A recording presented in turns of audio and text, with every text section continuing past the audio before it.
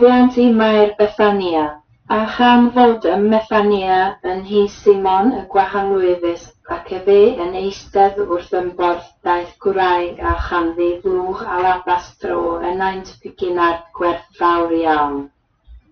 A hi adorodd y blwch ac a'i tywalltodd ar ei ben ac yr oedd rhai wedi digio yn ddynt eu hunain ac ar ddiweddasant pa ham y gwnaethpwyd y diffeithwch hwn ar yr enaint.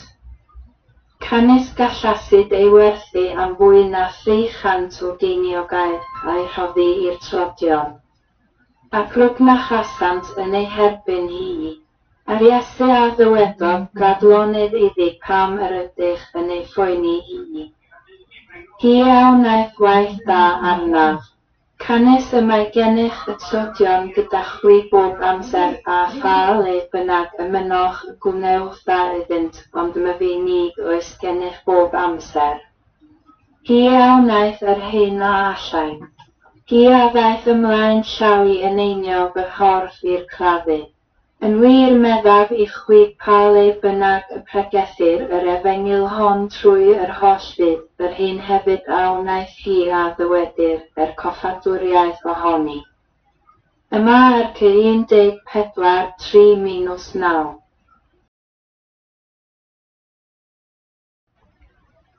Imam Diesu Grist sy'n achub.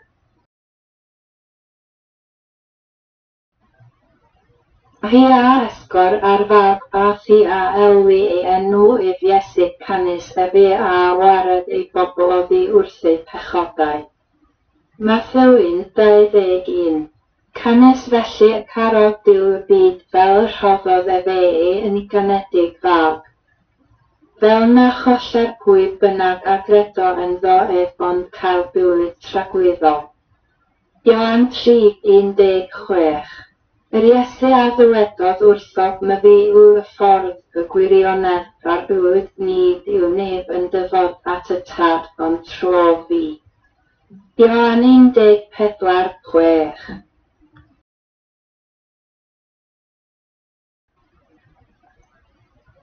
Oes y chwaith iachawdwriaeth yn neb arall canys nid oes enw arall dan y neb wedi ei roddi ymhlith dynion trwy yr hwn y mae yn rhaid i ni fod yn gadwedig. Actau 4.12 Canys mi a drafodais i chwi yn gyntaf yr hyn o llaferbyniais hefyd fel y bu Christ farw dros ein pechodau ni yn ôl yr ysbrythurau ac iddo gael ei gladdu.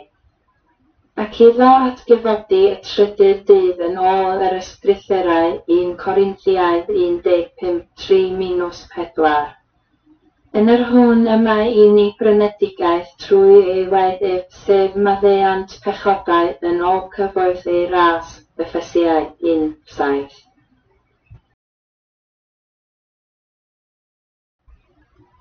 Y pedwar gwirionedd y mae'n rhaid i ni ei deall yn llawn un.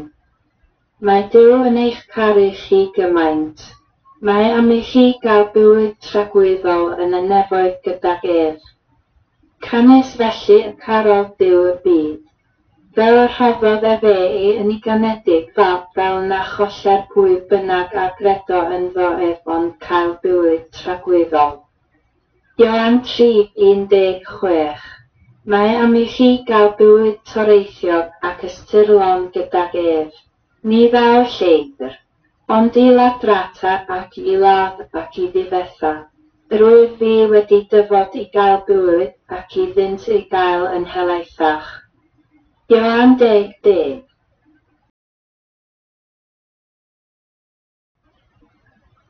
Gweithaf hyn, nid yw llawer o bobl yn profi bywyd ystyrlon ac nid ydynt yn siŵr a oes ganddynt fywyd tragwyddol oherwydd.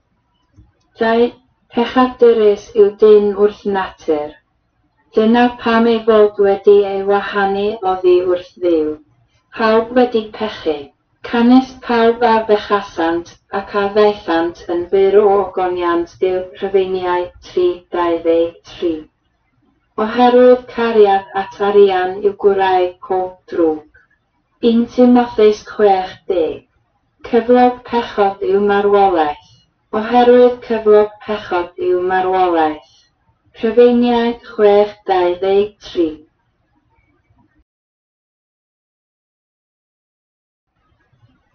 Mae'r Beibl yn nodi dau fath o farwolaeth marwolaeth gorfforol, ac fel y mae wedi ei osod i ddynion unwaith farw ond wedi hun y farn Hebraeg 927.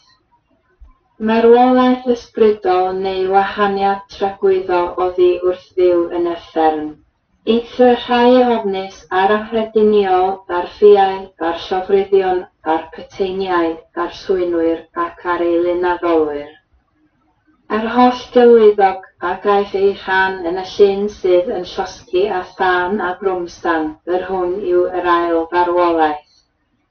Datgyddiad 21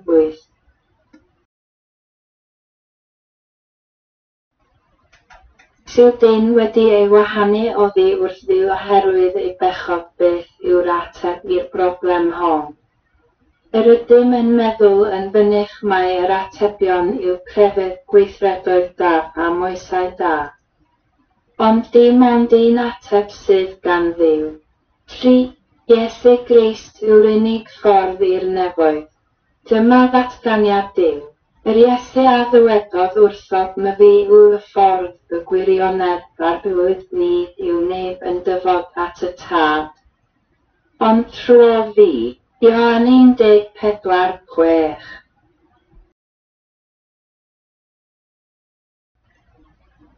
Darodd y gosblawn am ein pechodau. Cynnes Crist hefyd a ddioddefodd unwaith dros bechodau y cyfiawn dros yr anhefiawn fel y dydau efenni at ddiw wedi ei roddi i farwolaeth yn y pnawn ond wedi ei gyflymu gan yr ysbryd 1 Pedr 3.18. Yn yr hwn yma i ni brynedigaeth trwy ei weddiff sef maddeuant pechodau yn ôl cyfoeth ei ras, Bethesiau 1.7. Mae ganddo a addewid bywyd tragweddol. Yr hwn sydd yn credu i'r mab sydd ganddo fywyd tragweddol, a'r hwn nid yw yn credu i'r mab ni wil fywyd, ond y mae dicofaint Dyw yn aros arno. Ioan 3.36 Canys cyflog pechod yw marwolaeth. Ond rhodd Dyw bywyd tragweddol trwy lesu grist ein hargwydd. Rhufeiniaid chwech dau ddeg tri.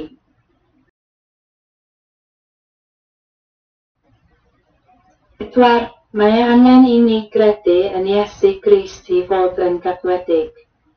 Mae ein hiachawdwriaeth yn ddyledus i ras Dyw trwy ffydd yn Iesu Grist. Canys trwy ras yr ydych yn gadwedig trwy ffydd. A hynny nid ohonoch eich hunain rho diwydydd nid o weithredoedd rha i neb ymffrostio. Effesiaid 2-9 Canis pwy bynnag a alwo ar enw yr arglwydd a fydd cadwedig. Rhyfeiniaid 13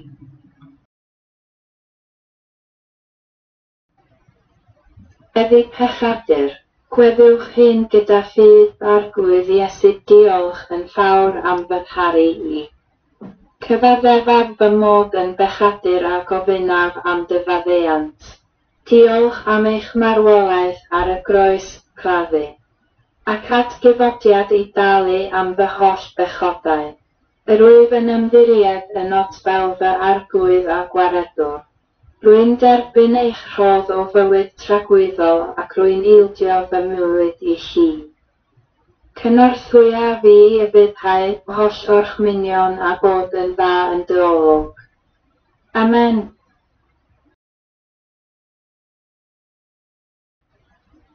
Sydych chi wedi ymddiried yn Iesu Grist mae'r canlynol wedi digwydd i chi yn awr y mae gennych bywyd tragiwyddol gyda Dyw. A heiniw ewyllys yr hwn am hanfonodd i, fod pob un ar sydd yn gweled y mab ac yn credu ynddo i gael bywyd tragweddol a mi a'i cyfodaf ef yn y dydd diweddar. Ioan chwech pedwar deg. Mae eich holl bechodau wedi eu talu a'i maddau. Gorffennol. Presennol dyfodol. Ond ydyn wedi iddo ddofrwymu un aberth dros bechodau am byth a eisteddodd ar ddeheulaw diw Hebraeg deg un deg dau.